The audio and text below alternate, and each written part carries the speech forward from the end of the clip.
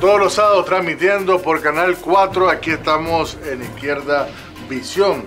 Hoy nos encontramos con el staff de nuestro espacio. La segunda vez que a propósito lo estamos haciendo, la primera fue en diciembre y ahora nos toca hacer el resumen de las principales noticias que se han dado desde que comenzó el año 2024 hasta este mes de febrero.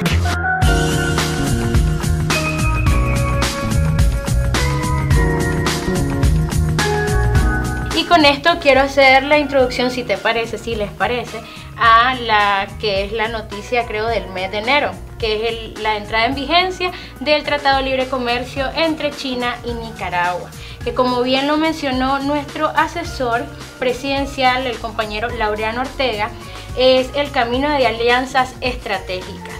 Y bueno, esto desde este espacio igual queremos felicitar al compañero que ha hecho un excelente trabajo junto a todo ese equipo que ha hecho posible todo este tipo de negociaciones para el desarrollo, como ya bien mencionamos, de, y avance en nuestro país que lo hacemos igual con dignidad y dentro de nuestro concepto de soberanía, siempre guiados por el comandante presidente Daniel Ortega y nuestra vicepresidente Rosario Murillo.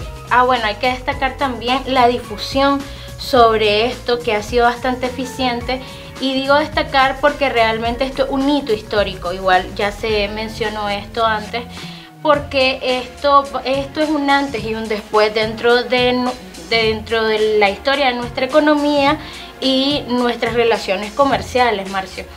Dentro de todo lo que he visto eh, en entrevistas e incluso en, en, el programa especial que hizo Izquierda Visión, que les recomiendo verlo, está ya en la plataforma de YouTube, ¿verdad, Carlos?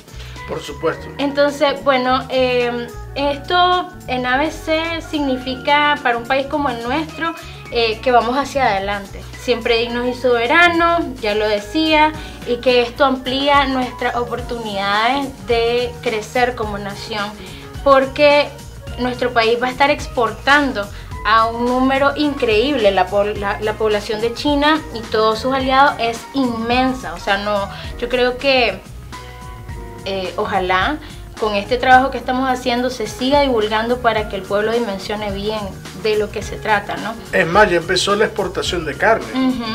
Que es un mercado enorme y habrá exportación, así como va a haber exportaciones, van a haber importaciones, que como nos interesa la platita, ¿verdad? Es importante reconocer que si esto pasa, va, eh, se va a disminuir el precio de muchos productos, porque claro, la la demanda es grande en nuestro pueblo ahora en materia prima y nosotros vamos a poder conseguir todos los insumos eh, de manera más económica.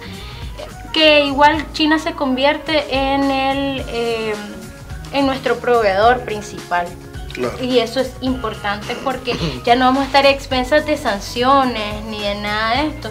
Además que nuestras políticas en cuanto a negocio no se rigen específicamente eh, al son que nos toque cualquiera ahí, sino que eh, nosotros trabajamos y eso lo reconoció el PESIE, que nosotros trabajamos, nosotros pagamos, así como nosotros vemos la, este, eh, nos vemos, hemos visto la necesidad de pedir, o sea, también así pagamos, trabajamos igual de duro. Es fundamental recalcar que este es un tratado que además se realiza en base al respeto entre las naciones. Así es.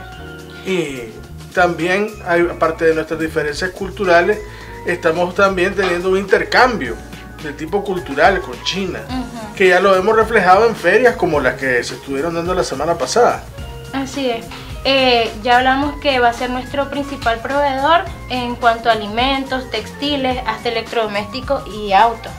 Entonces, dentro de todo esto, con lo que mencionaba Carlos, se ha negociado la eliminación arancelaria entre 5, 10 y 15 años. Eh, con la variedad de productos, pues ya lo decíamos, eh, los precios van a ser más accesibles y ya vemos cómo proliferan los megaproyectos.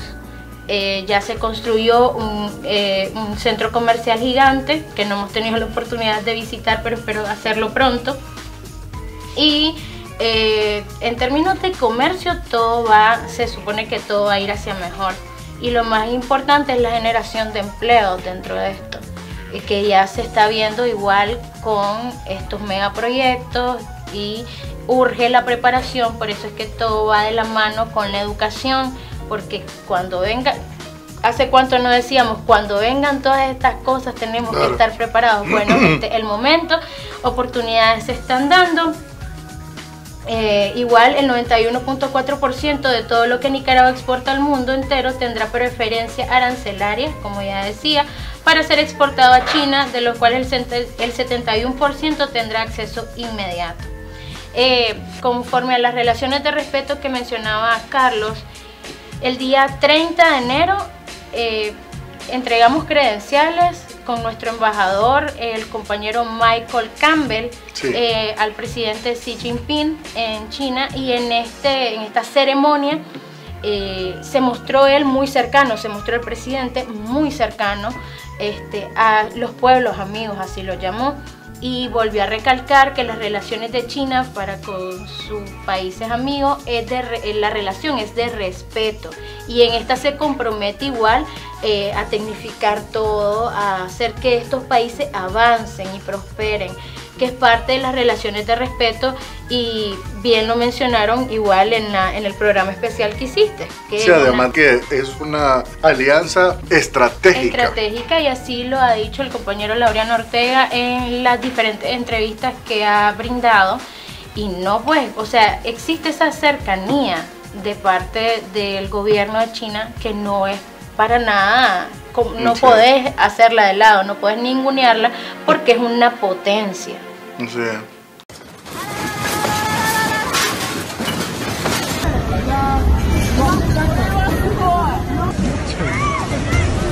El primero de enero a las 4 con 10 minutos en Japón ocurrió un terremoto de 7.4 que causó una gran devastación y una enorme cantidad de víctimas mortales eh, eso fue la forma en que despuntó el año. Pero apenas dos días después, en Irán, ocurrirían unos atentados realizados por el grupo terrorista ISIS que se atribuyó el ataque en conmemoración de los cuatro años en que el gobierno de Estados Unidos, a la cabeza de Donald Trump, mandó asesinar al general Qasem Soleimani, que es considerado uno de los más grandes héroes de los países árabes.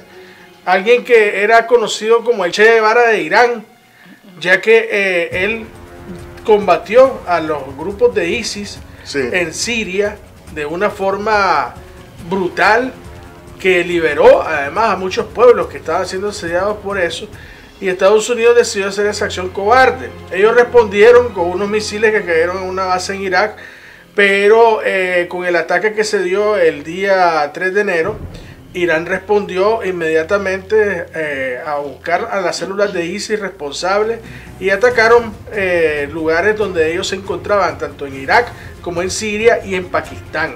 El problema que se dio es que en Pakistán la cosa se puso fea, porque ellos contestaron con un contraataque y estamos hablando de una potencia nuclear al lado de, Irán y, eso estaba con una situación en la que terminaron arreglándose de manera diplomática por lo menos, porque eso había puesto en un momento en peligro al mundo.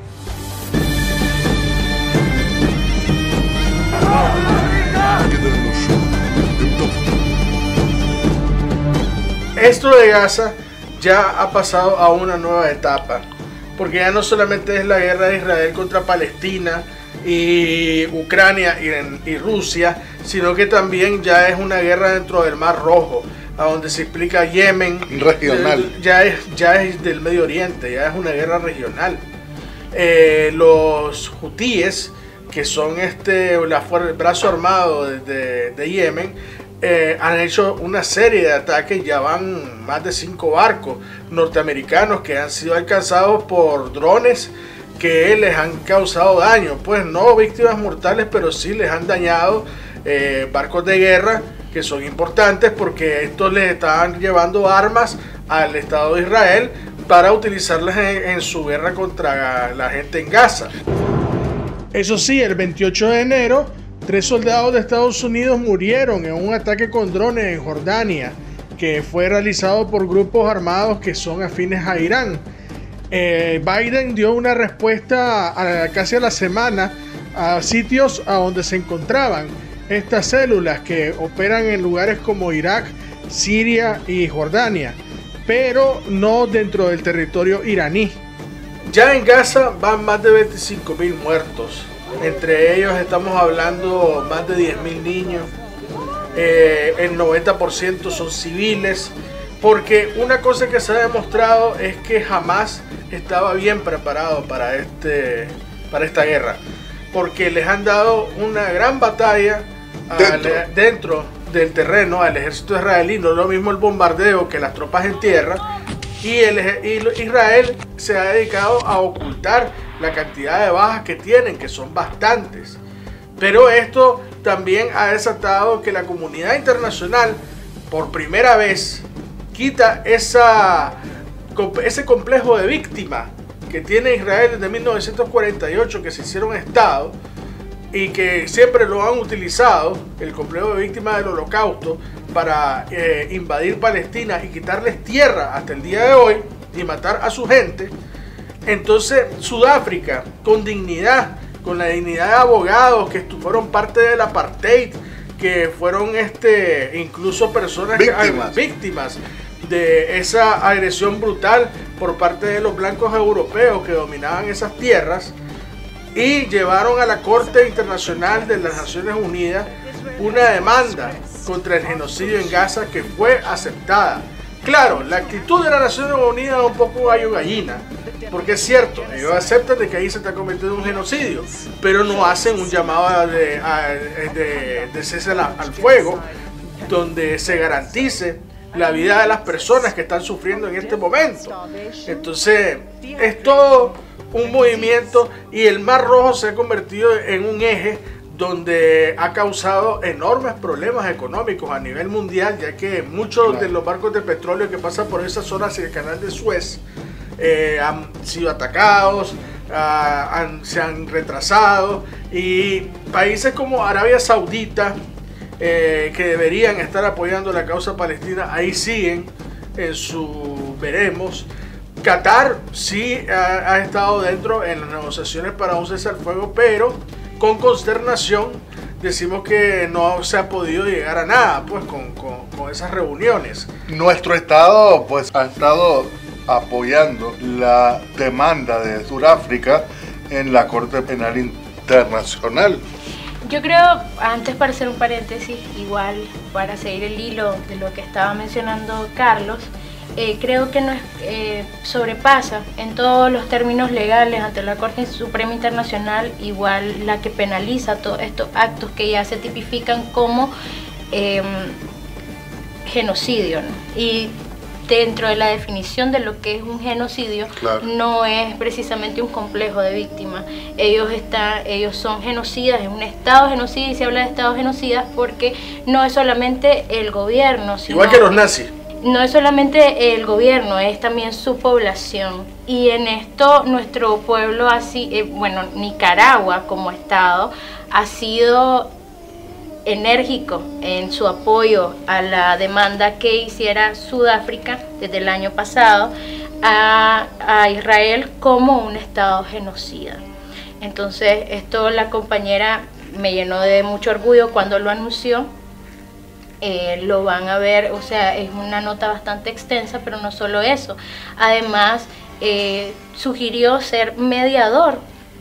Eh, y que, que, bueno, y la intención es que quede sentado que Nicaragua en este momento atroz de la historia que estamos viviendo, sepa que sepa el mundo que estamos del lado correcto, del lado de los oprimidos, del lado de los que están siendo vulnerados día a día y esa es la intención de nuestro buen gobierno de reconciliación y unidad nacional que además tiene un proyecto mundial de unidad, de respeto, de soberanía y de dignidad.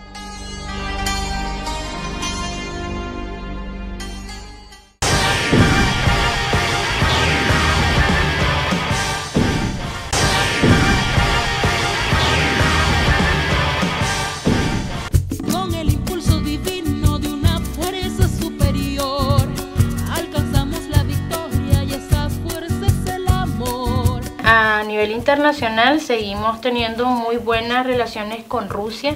Eh, Rusia hasta, este, bueno, nuestra embajadora estuvo ahí celebrando, lo invitaron pues a toda la delegación nicaragüense en San Petersburgo sobre la liberación de Leningrado. Eso nos puede hablar un poco más, Carlos. No, y además que el día 3 de febrero también, que es el día, hoy se conmemoran ya eh, exactamente 80 años de la liberación de Stalingrado, cuando las tropas nazis que habían pasado durante casi un año ahí combatiendo, se rindieron hasta ese día, ya destruidos por el frío. Y hay algo que hay que hablar sobre los que se creen indestructibles. Este conflicto que lo estamos viendo ahora con el Mar Rojo y toda la zona de Gaza, tanto Israel como Estados Unidos se les ha demostrado que no son invencibles, que se les puede combatir cara a cara. Con los hutíes, los hutíes, ¿de dónde salieron? ¿De dónde sale que esto les están rompiendo barcos de guerra a los gringos? Y los soldados de Hamas que están ahí dando la batalla en el terreno y causándole enormes bajas al ejército israelí. Lo que pasa es que no sale en la CNN, pero sí es una realidad que estos imperios eh, que tienen las grandes armas, por lo menos las más sofisticadas del mundo, no son invencibles.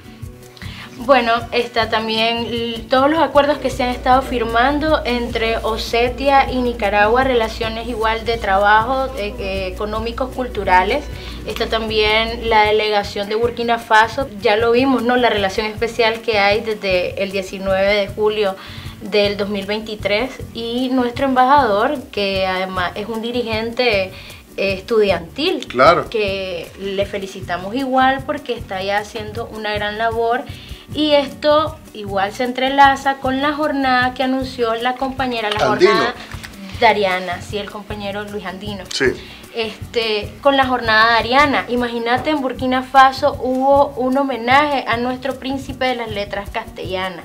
Y aquí, dentro de las noticias más importantes del mes de enero, está también el esfuerzo inmenso que ha hecho nuestra alcaldía, nuestro, el bueno, la alcaldía, el CNU y nuestro Ministerio de Educación. Qué belleza todos los ese derroche de cultura en las escuelas, ahorita en el regreso a clase, que de eso vamos a hablar más adelante. Y bueno, eh, se comenzó desde inicios de año a hablar del millón de paquetes distribuidos a todas las escuelas, de la distribución igual de la merienda escolar, que eh, bueno, todos los todos los, ministerios entregaron sus informes en 17 años de gobierno, porque acuérdate que este año también en enero, justo el 10 de enero, cumplimos 17 años de buen gobierno de esperanzas, de victorias. Entonces, hablamos igual de un millón de paquetes distribuidos, que ya lo mencionábamos, también de las ferias escolares que se realizaron en todos los mercados del el país. Que eso obviamente es un comodín a la economía de todos nosotros que venimos de diciembre y que ya sabemos que esto se implementa igual eh, como una medida económica para que todos estemos eh, preparados para este inicio a clase. Igual eh, desde el primer día de clase, que fue el día 29 de enero oficialmente. Eh, bueno, hay que mencionar también la matrícula de 5.000 estudiantes que iniciaron sus clases en la Universidad del Pueblo Casimiro Sotelo. Claro. Que muchos, la verdad, teníamos, estábamos viendo qué era lo que iba a pasar eh, con respecto a esta universidad. El proceso fue extremadamente ordenado, eh, como claro, es algo que se acaba de abrir, pero yo veo que todo va, todo hacia adelante, como te decía. Todo alumnos del primer año, está genial. Pues está bien. Bueno, y además de este, de este inicio a clase, te menciono que más de 1.800.000 estudiantes iniciaron el ciclo escolar 2024. También el día 30 de enero iniciaron, el 29 iniciaron todos los estudiantes pues en, las modalidades de turno matutino, vespertino y nocturno. Eh, también en, la, en los sistemas penitenciarios. Que esto es algo increíble porque eh, es algo increíble y es importante porque eh, toda sociedad lo medís como algo bueno. Si la persona que, que no sé, delinquió y estábamos oyendo algo recientemente sobre la reincidencia de esto. Para que no haya reincidencias, el Estado que puede garantizarte cuál es la intención de que esta persona no pierda sus derechos. O sea, que cumpla su pena, pero que al mismo tiempo, ¿cómo vas a garantizar vos que él salga, que pueda ser un ciudadano que le responda a esta sociedad?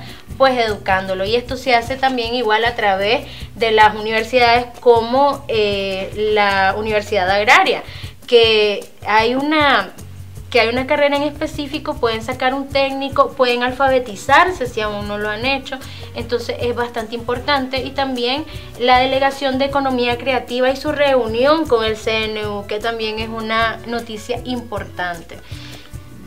Sí, porque además son la cara, eh, como todas las noticias van teniendo su desarrollo y obviamente su impacto en la sociedad cuando se desarrollan las, en estas plataformas como Nicaragua Diseña, Nicaragua Emprende, entonces ve ahí cada vez a un, a un sector más joven acaparando estos espacios y esto es sumamente importante. Y viene de los, desde los colegios, desde, desde las escuelas, desde estos espacios.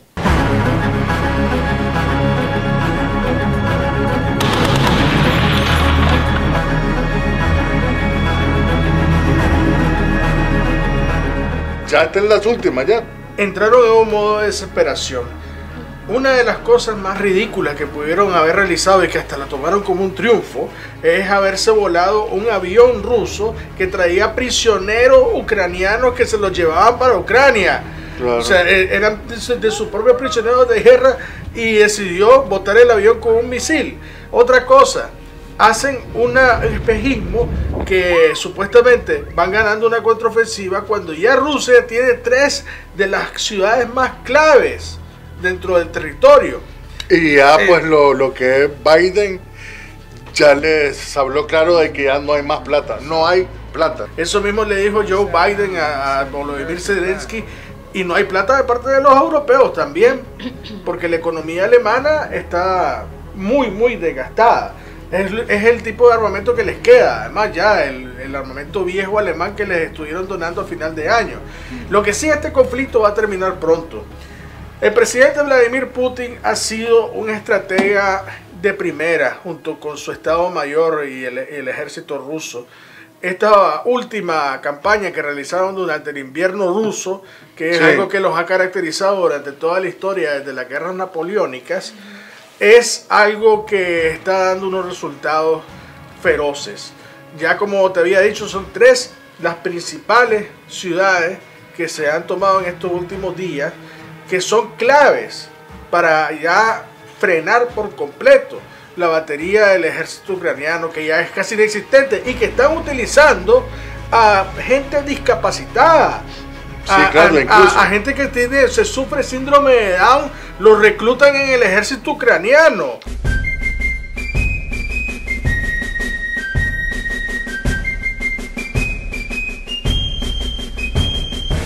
Que ya están. Quiero mencionar que, las primarias republicanas dejaron que ver que Trump es el candidato indiscutible.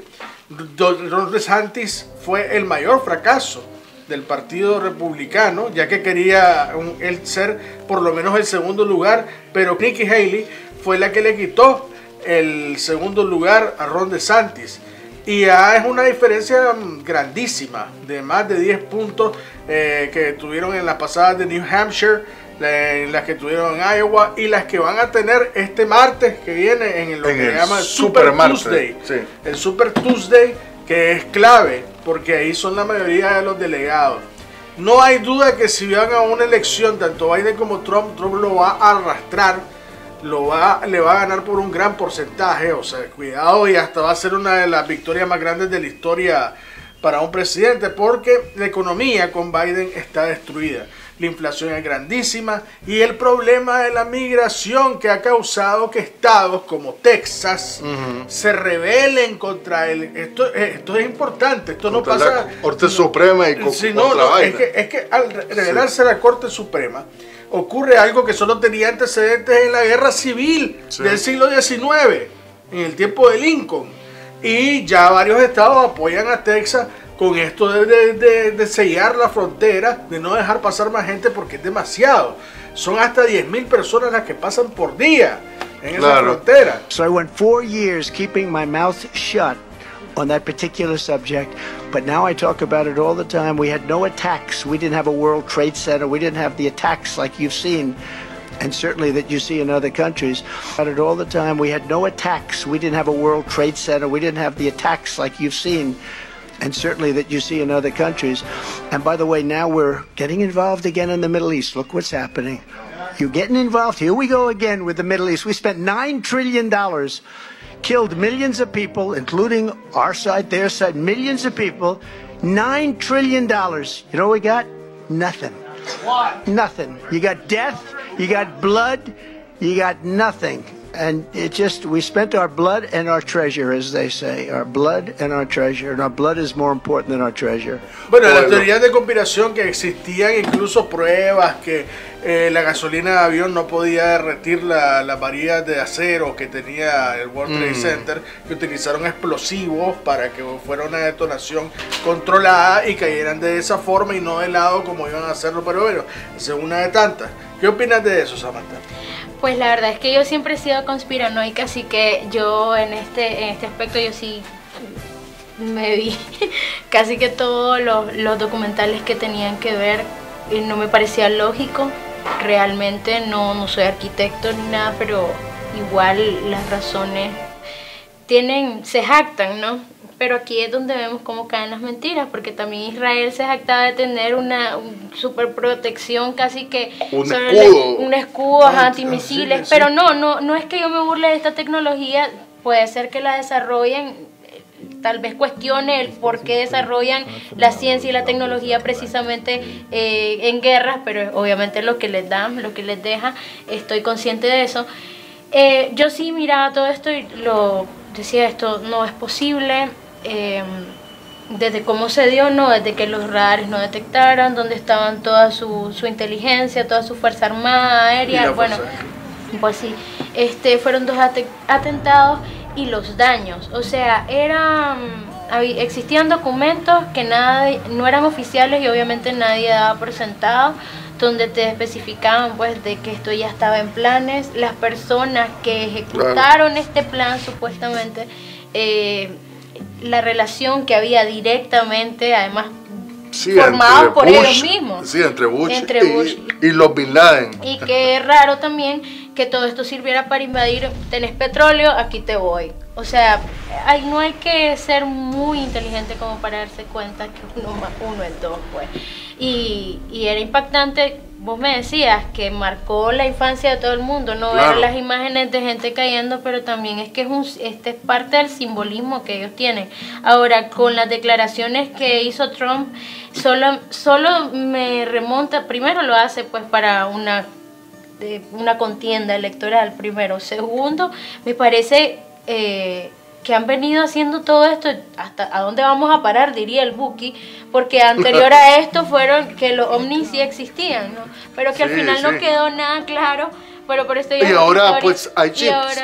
no, pues sí, pero eh, con esto de Trump dando estas declaraciones creo que se la lleva por mucho, es una de las noticias más importantes que no estará en los últimos A mí me parece increíble, yo no sé cómo es que aún no está pilas, pues, pero Ajá.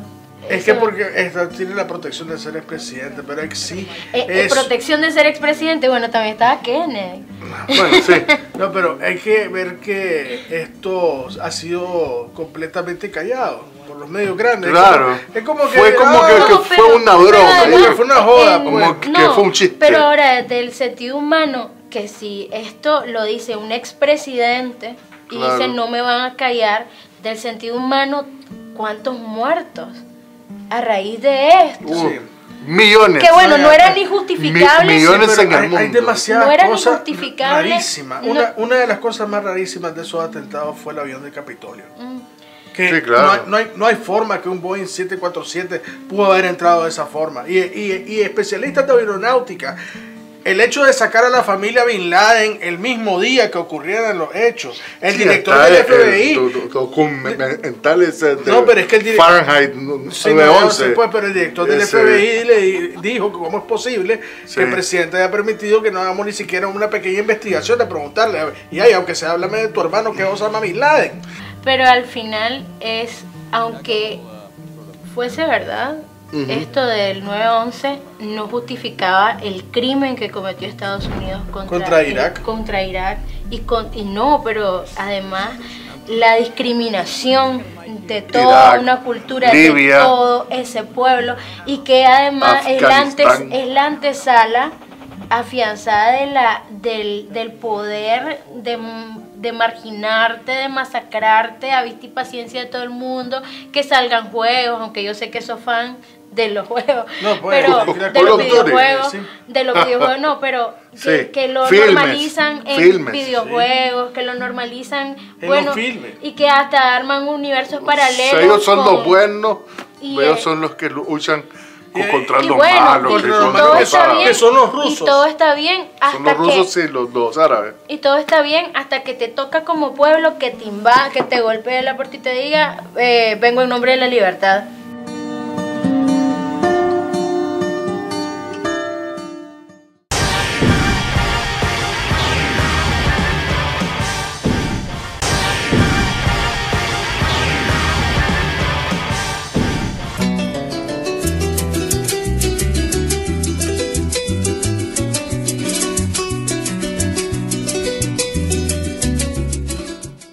Yo le puse un Twitter. Brinca, llora, bátete contra el piso, pídele chocolate a tu mamá, todo lo que tú seas, pero tú estás inhabilitada criminal. Y estás bajo investigación. A ver quién va a salir en defensa tuya, pues. Llama a los gringos. Llama a tu papá, a tu mamá ya en Gringolandia. Ya Ya. fue inhabilitada eh, María Corina Machado por car- eh, cargos de corrupción en base a lo que ella participó diciendo eh, el famoso gobierno eh, alterno que existía en Venezuela, que en realidad era una pantomima, pero de, de-. Guaidó. Sí, el gobierno de Juan Guaidó eh, fue un desastre. Eh, Gracias a eso pudieron este, inhabilitarla, pero ella también es responsable de muchas otras cosas, como el, el golpe de Estado de abril de 2002. Ella participó en eso. Claro. También incluso se le atribuye que ella ha hecho declaraciones en televisión llamando a invasión. ¿Estás tú pidiendo una invasión militar de Estados Unidos a Venezuela? Yo te pregunto, como, como todos los venezolanos hoy, ¿cuántos muertos más hacen falta en Venezuela para detener los estragos, la catástrofe humanitaria que ocurre en mi país? Y eso es traición a la patria en cualquier parte del mundo. Y también se dice que ella estuvo involucrada en los atentados, que fueron en realidad Cinco. un- eh, cinco atentados contra la vida del presidente Nicolás Maduro. Sí, cinco Que, atentados. eh, sí, cinco Atentados atentados, sí. En un año. En un año, O exactamente. sea, ahorita. Es, eh, en el ahorita en el 2023. 2023. Angelo Heredia dice que este ciudadano estaba preparando unos discursos para una señora Eh, mi general Martínez Macías había preparado un discurso a la dirigente política eh, una vez que se hicieran los pronunciamientos militares, eh, ella surgiera a través de un discurso como la imagen política. Esto es un documento, yo lo tengo aquí en mi teléfono. Les hago llegar un hasta luego, porque segura estoy que con el pasar de los días continuaremos en contacto para afianzar las esperanzas y reforzar mi compromiso por un mañana muchísimo mejor. Esto tiene textos como esto para quedar claro que quien lo iba a leer era una mujer. Entonces viene un- otro proceso electoral. Lo más seguro es que el presidente Maduro va a ir por otro periodo y Los, que van. los gringos han Que anunciaron de que van otra vez. Las no, sanciones. Lo, lo que ya habían dicho que no iban a que, que iban a quitar, pues simplemente van a volver otra vez. Tienen hasta abril, dicen. Tienen hasta abril. Ahórrense el lapso, yanquis de mierda.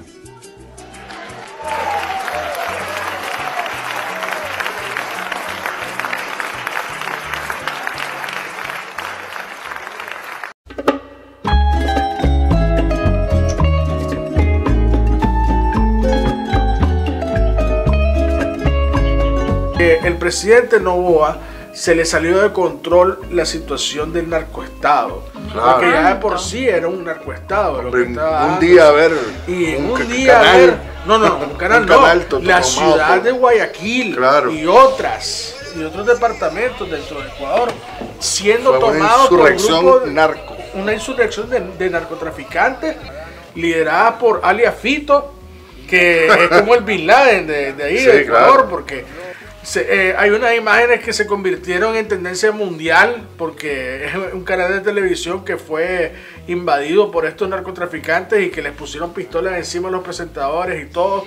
Eh, es lamentable que un país como Ecuador, que había logrado un gran avance con la revolución ciudadana del compañero Rafael Correa, se haya retrocedido al nivel de convertirse en un narcoestado Y- y que tal vez peor que Colombia. Y la solución que busca este presidente Novoa es llamar al Comando Sur de los Estados Unidos, o sea, armar bases de Estados Unidos en Ecuador eh, para una guerra que bien pueden controlar con su propio ejército. espanto un hombre en plena vía pública con una bazuca, entonces a esto el Sí, expresidente Rafael Correa sí lanzó su comunicado y fue de unidad, es decir, que no le temblara el pulso al presidente Novoa para este, detener esta situación, que no, no, no se dejara amedrentar, pues que no se diera Hablando de delincuentes, Sí. hombre, hubo uno que se fue hace unos Sí. días aquí. Se fue Rolando Álvarez también, pero como no es una noticia tan...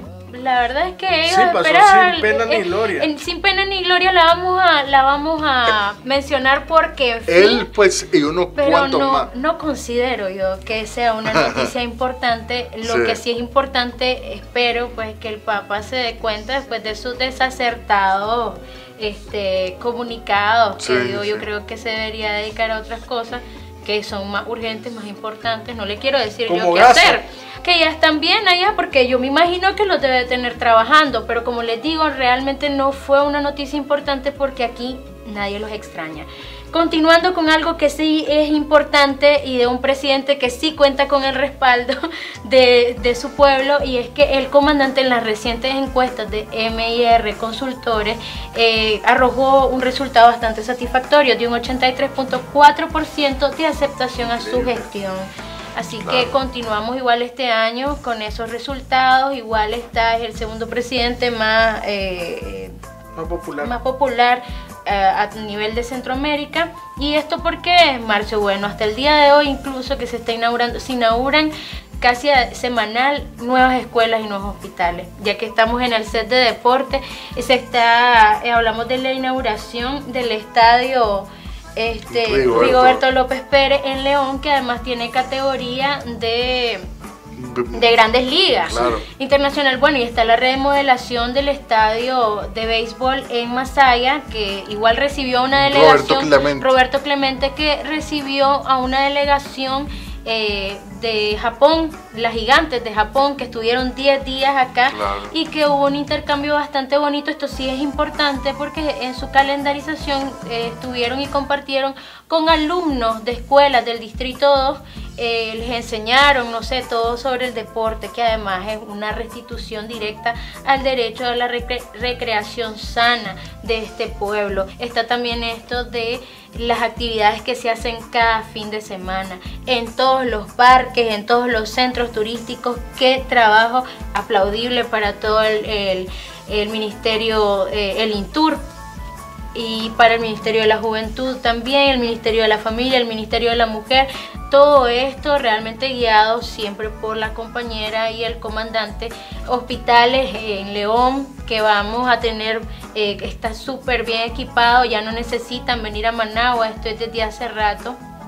Eh, un hospi- un hospital con una inversión millonaria, obviamente como todos estos Sí, los aquí, Cardanilos. eh, los Cardanilo Rosales, este, el hospital igual va a ser el responsable, va a tener toda la tecnología para que se hagan trasplantes Trasplante de, de corazón. corazón. Imagínate, oh, bueno, además los los los tratamientos que son tan importantes, o sea, oncológicos, igual, los, re- los que se ocupan para, que son un padecimiento bastante común en el occidente, la diálisis, a eso me refiero. Entonces vamos a tener, re- definitivamente, sabemos por qué este resultado es por todo esto que ha venido haciendo el gobierno desde, desde lo micro hasta lo macro. Él es mi ley, él es el rey.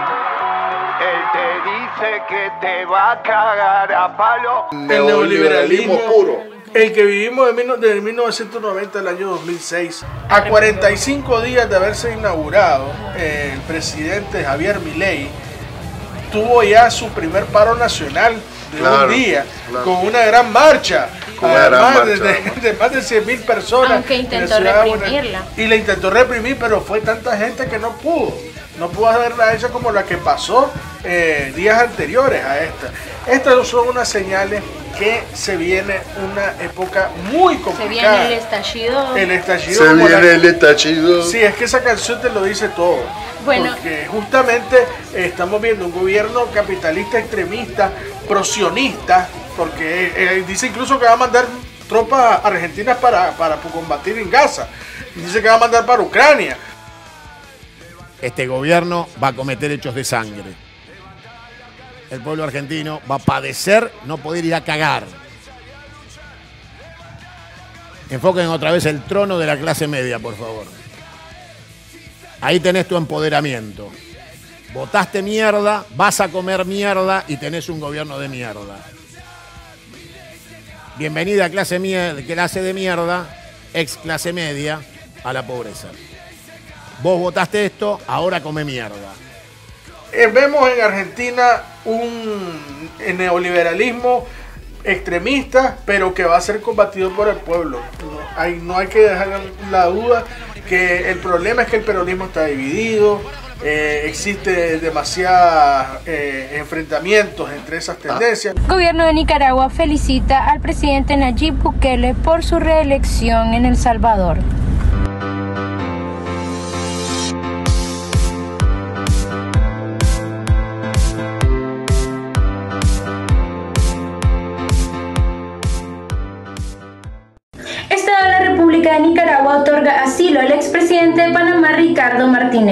Que hemos hecho llegar al Ministerio de Relaciones Exteriores de la República de Panamá, donde además de saludarles cordialmente, hacemos referencia a la situación jurídica política del expresidente de la República de Panamá, don Ricardo Alberto Martinelli Berrocal. El Ministerio nuestro de Relaciones Exteriores transmite que el expresidente Ricardo Martinelli solicitó asilo en la Embajada de la República de Nicaragua en Panamá por considerarse perseguido por razones políticas.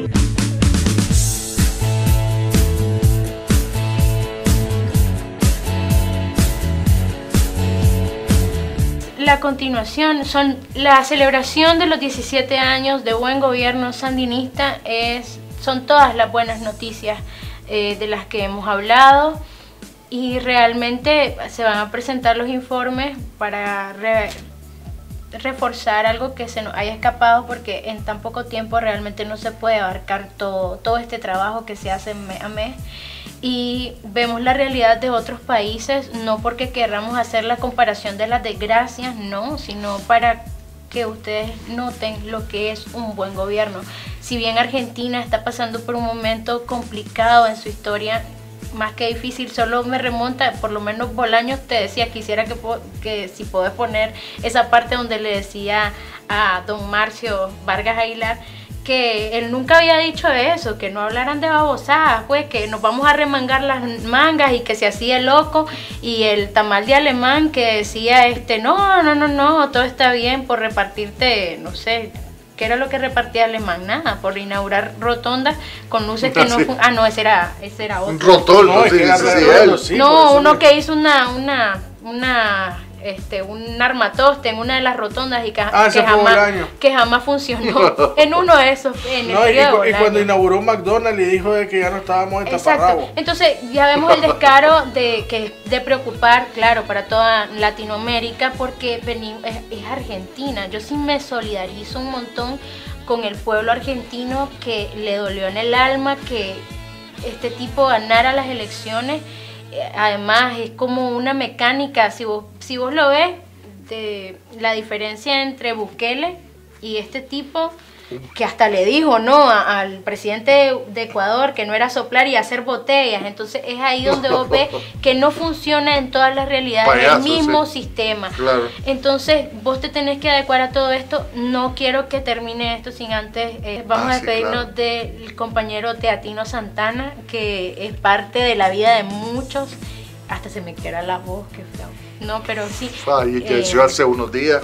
Falleció hace unos días y se le rindió los homenajes necesarios y pues desde aquí también lo hacemos. La compañera Suadmar. La compañera Suad Marcos, que igual ya para esta fecha ustedes ya van a poder ver el, el homenaje que le hizo Izquierda Visión a esta compañera y poeta que nos inspira a todos. El Y- actor Ramón Ramón.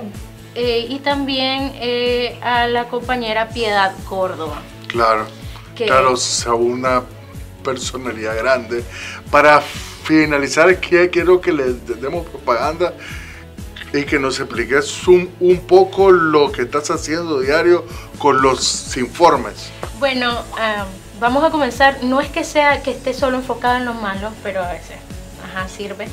Hay personas que creen que esto lo hago por, eh, por plata y no, lo, lo hago de corazoncito. Realmente me vi en la necesidad de hacer un resumen diario de las principales noticias del día.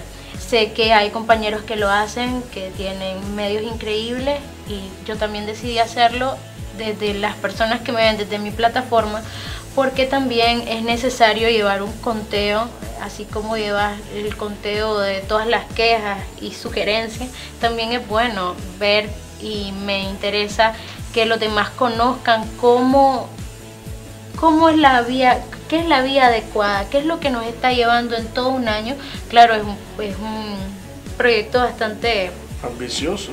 cansado Sí, en sí. algunos casos, pero no dejo que eso no gane porque el apoyo también lo recibo de parte de Izquierda Visión, ellos se han encargado de darle difusión y algo que se me escapaba, pero que es algo, es algo importante de mencionar, es eh, también lo que estoy haciendo con el compañero Carlos Emilio, que es el compañero diputado Carlos Emilio, eh, López. sobre el- López Hurtado sobre las cinco reformas eh, que se aprobaron recientemente por la Asamblea Nacional y que lo hemos estado compartiendo. Ya llevamos dos, los invito a verlos también.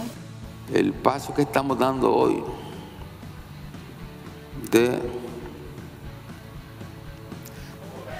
volver a la vida al Ministerio del Interior es un paso que nos da una fortaleza enorme.